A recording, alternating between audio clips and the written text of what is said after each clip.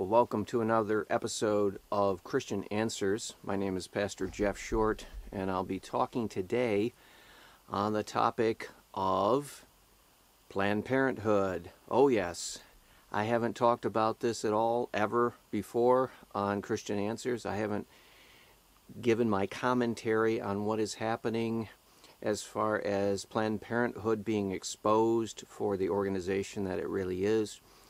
It's basically selling of fetal parts, aborted babies uh, for payment. And I haven't talked about that before because I wanted to see what was happening, what was taking place. I know this is a political issue and it's generated a lot of controversy. I know that Planned Parenthood is on the defensive right now and they're trying to scramble and figure out what they're going to do uh, to save their public image, but they are receiving millions and millions of dollars from the U.S. government in order to procure abortions.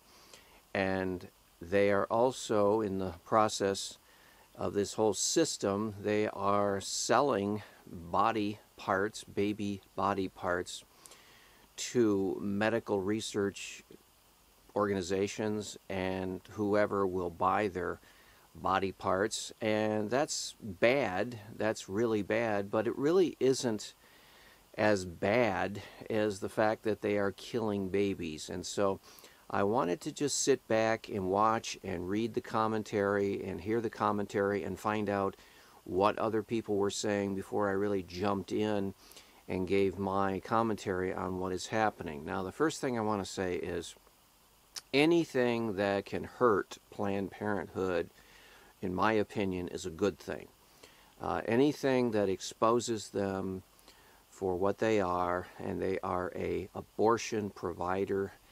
Uh, they are not what they say they are, which is a women's health service.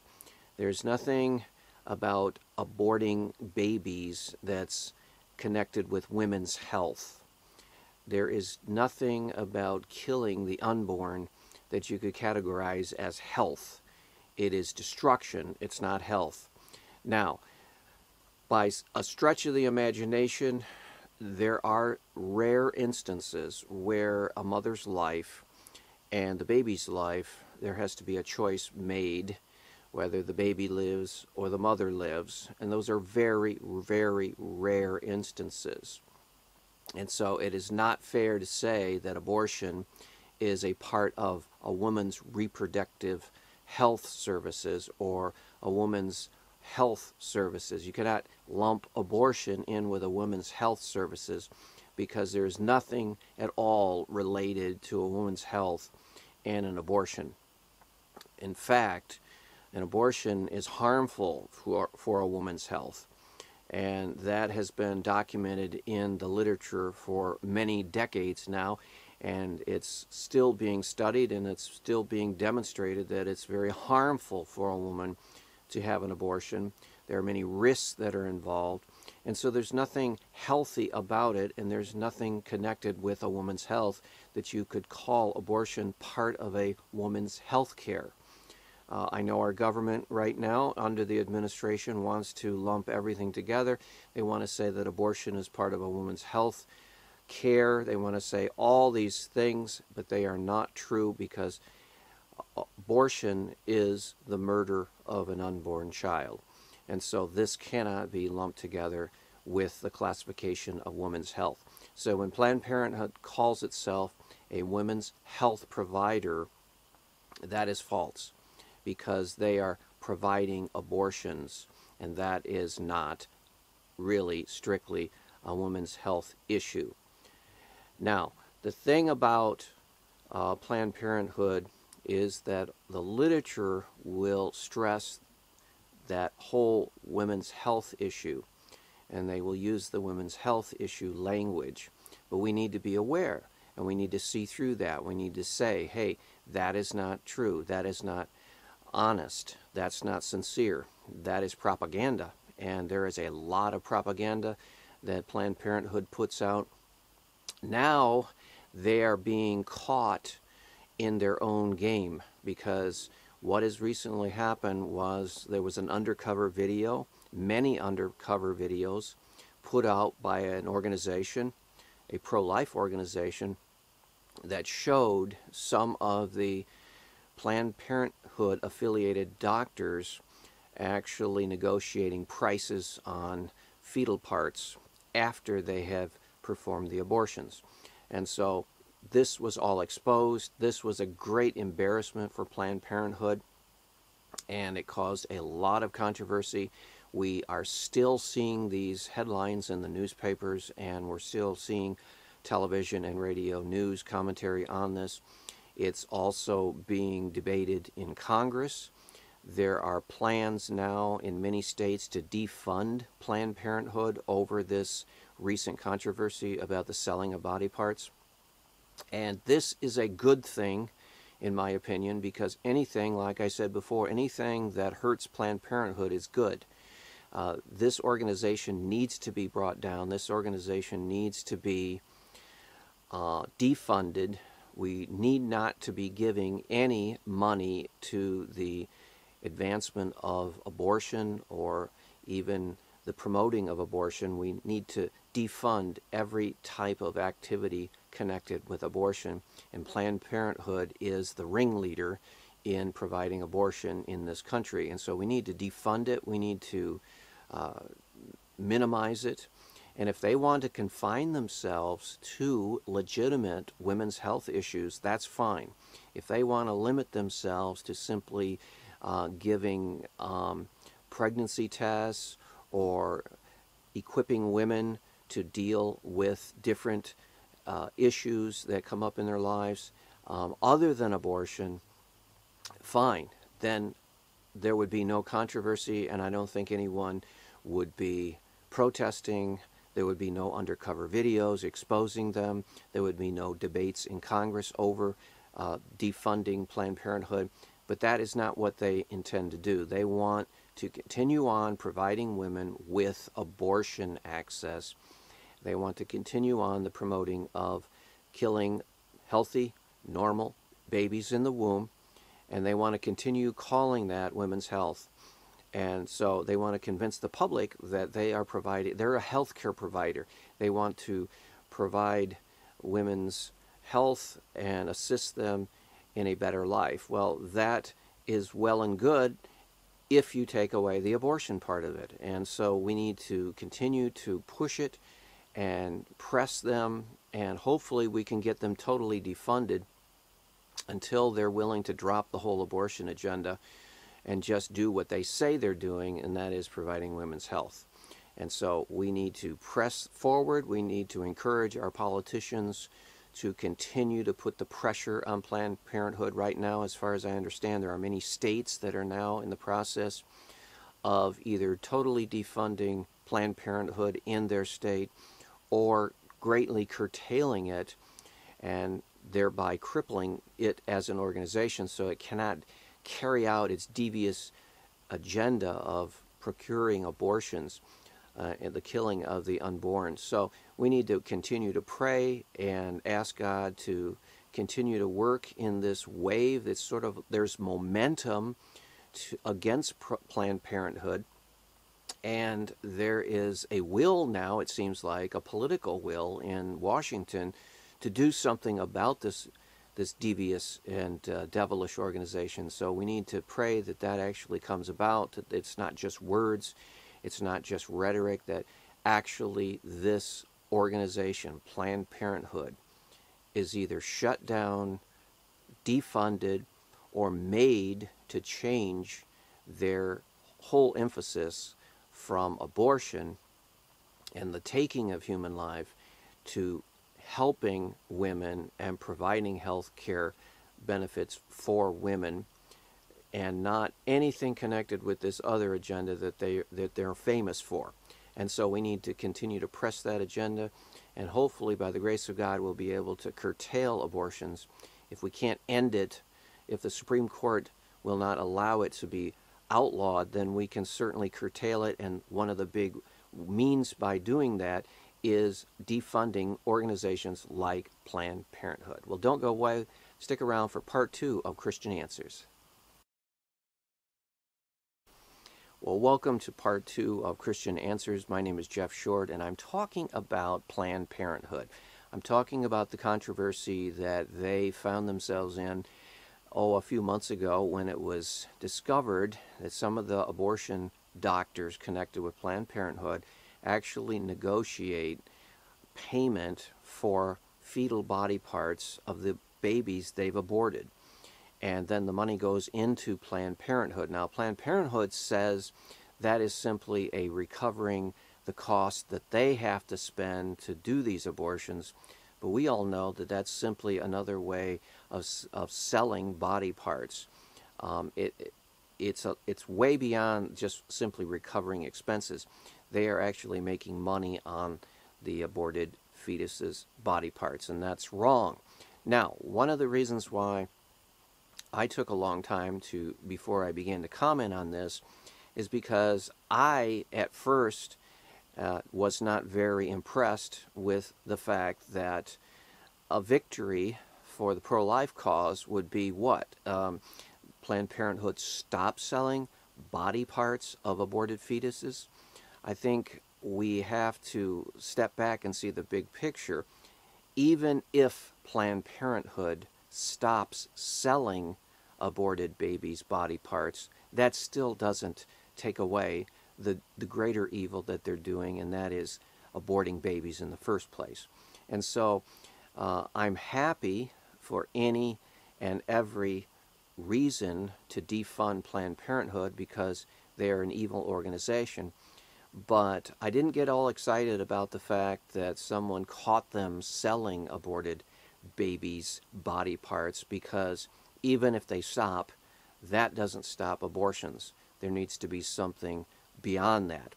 Then I began to see how the the thing developed in the na national conversation. I began to realize that hey, possibly we can defund Planned Parenthood to the point where they have to fold. They have to go out of business. They don't have the money to support their organization, and that would be good for the pro-life cause because therefore they would not be assisting women in procuring abortions. And so, even this silly, um, uh, somewhat minor thing of already using the body parts of fetuses to make money for Planned Parenthood, that can be used as a greater good to try to shut them down to stop abortions altogether.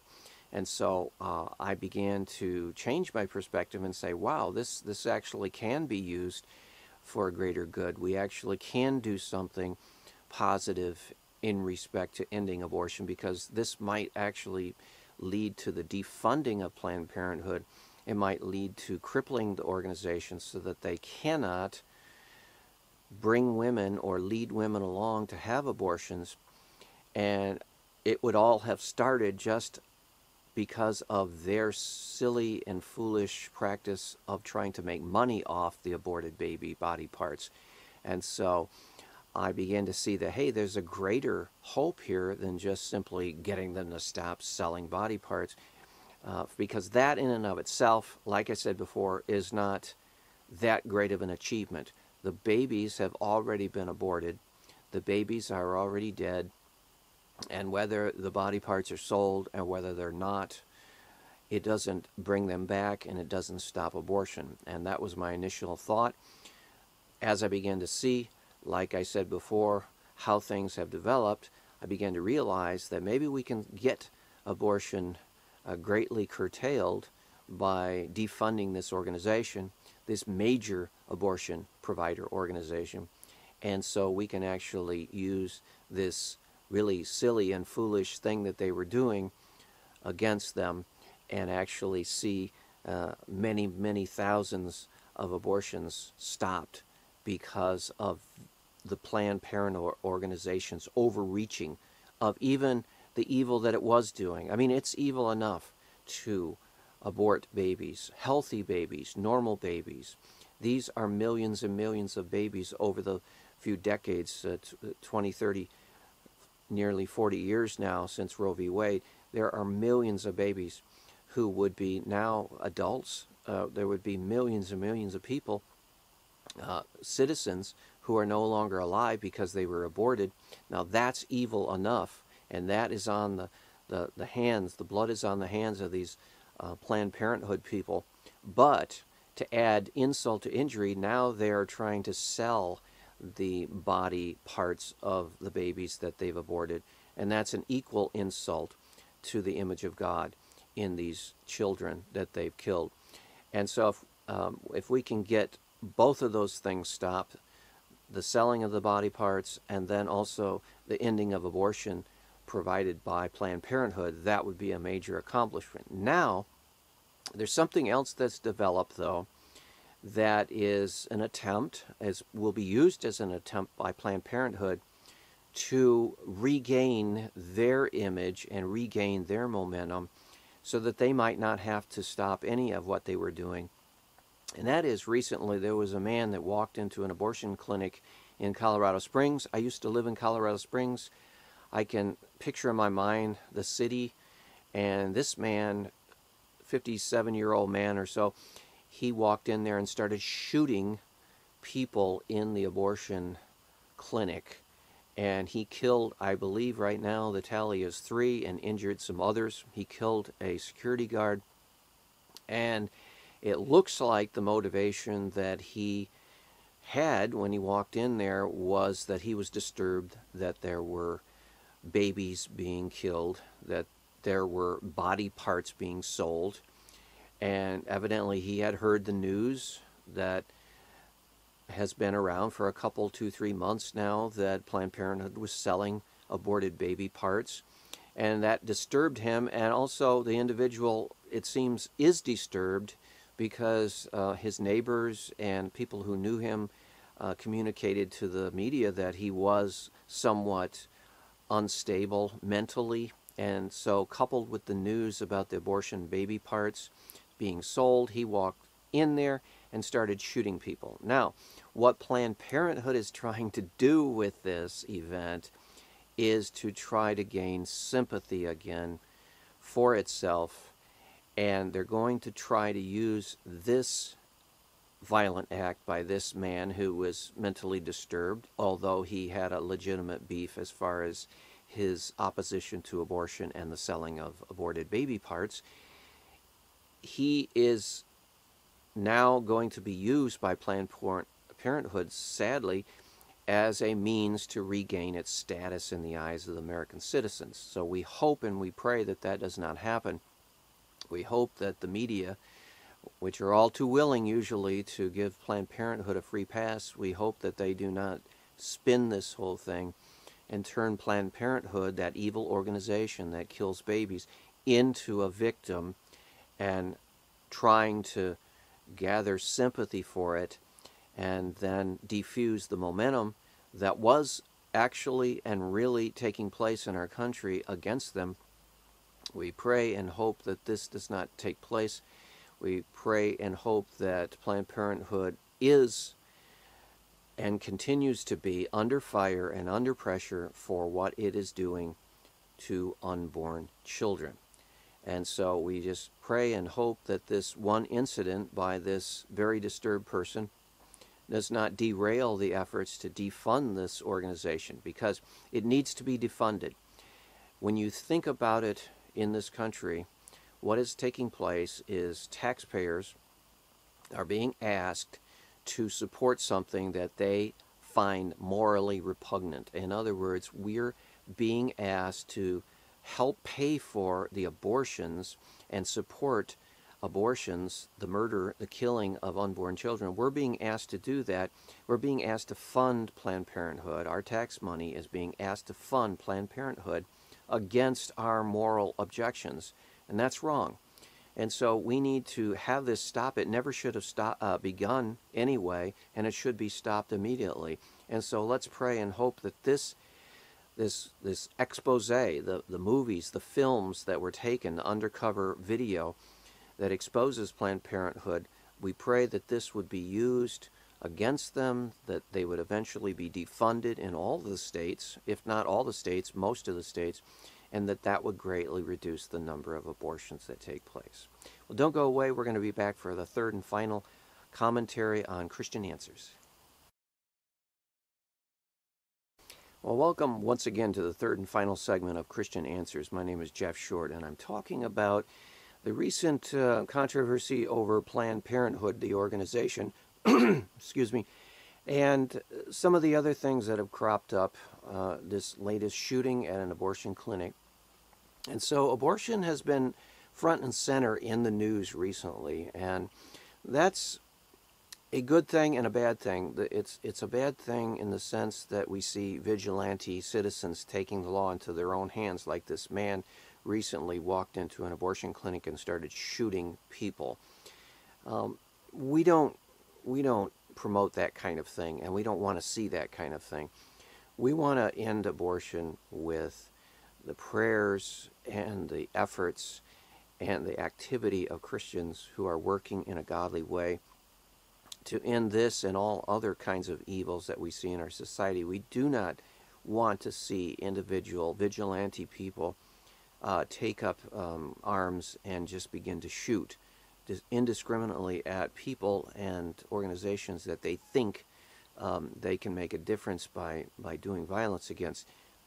we want to see the power of God through prayer, uh, through um, efforts to try to persuade our fellow citizens that killing babies in our country is wrong and that we need to draw a line.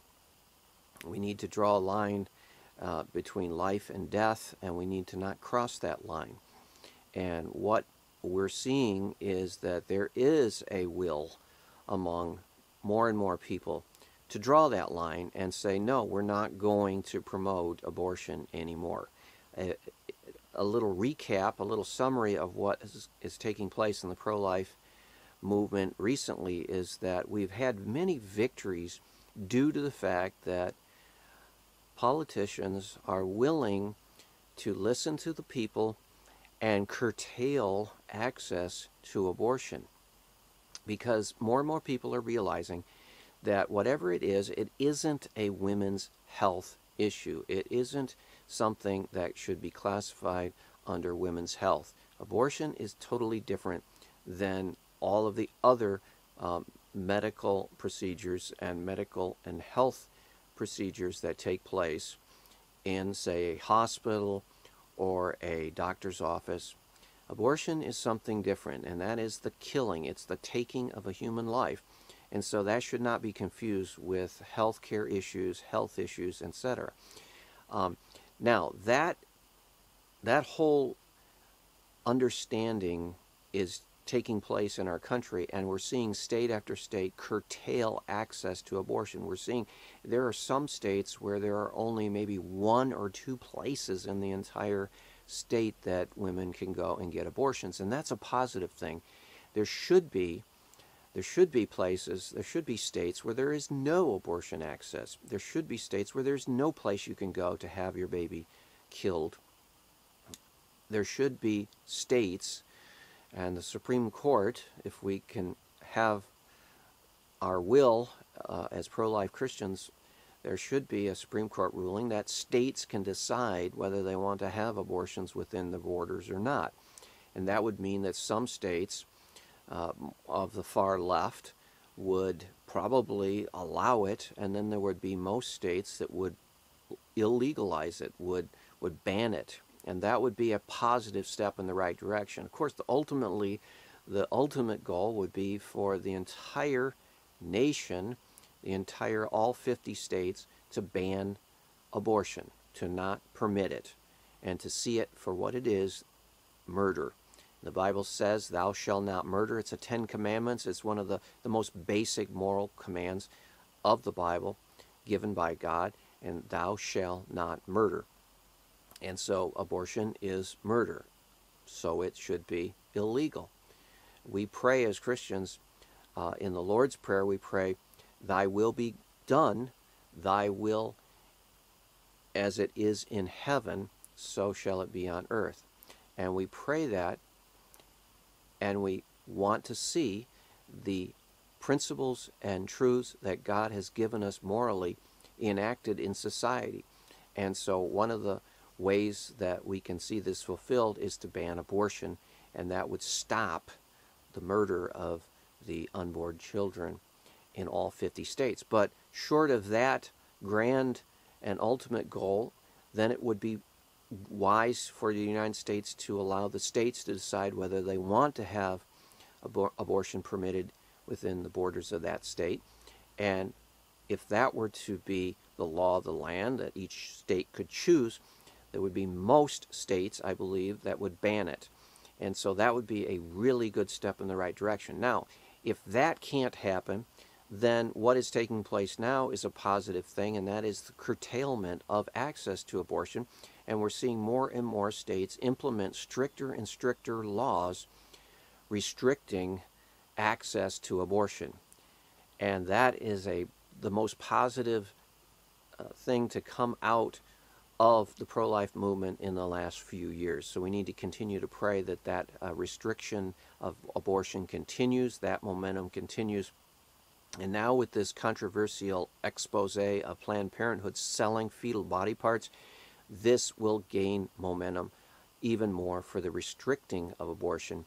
And hopefully, abortion will get to the point where it's so restricted that it's almost impossible to obtain an abortion and that would make it almost impossible for uh, babies to be killed in the womb if there is no abortion clinic that is accessible to the women who are going in for abortions. So that would be the, the next best thing that we could hope for. Now, we also have to be aware that the opposition, the enemy, Planned Parenthood, the pro abortion movement, and much of the uh, radical uh, leftist progressive camp, they are going to fight back. And that's what they're going to do with this shooting recently in Colorado Springs. They are going to use that and they are going to talk about that and they're going to say, see, this is what happens when um, pro life Christians begin to speak out against abortion, violence takes place, etc., etc. Well, we need to answer their charges and we need to not allow their charges to stand because it's false. Christians are not violent. Christians do not uh, advocate violence. We do not advocate violence. We advocate prayer. We advocate uh, activism. We advocate pressing the argument. And that's how we see change taking place, not by violent means. And so we need to continue to talk to people, persuade them, show them that our motives are pure. We want to see the moral law of God for everyone in this country on abor- uh, uh, to end abortion. We want to see God's will done, and we don't want to see our nation end in destruction of judgment for the sin of abortion. So hope that that's got you thinking. I hope that that's helped you in your understanding of this complex and controversial issue. And we'll see you back here next week on another episode of Christian Answers. God bless.